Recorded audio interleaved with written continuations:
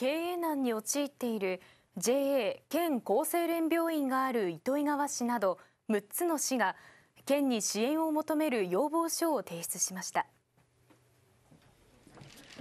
糸魚川市や佐渡市など6つの市は連名で地域医療体制の維持のための人材や資金援助などを求めて花角知事に要望書を提出しました。6つの市は JA 県厚生年が運営する病院が地域医療の中核を担っています。しかし JA 県厚生連は今年度60億円の赤字が見込まれ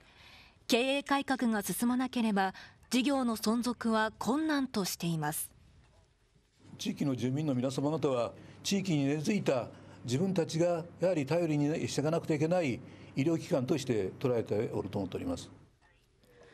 要望を受けて花角知事は安定して医療を提供できる体制に見直していかなければならないとして対応を検討する方針です。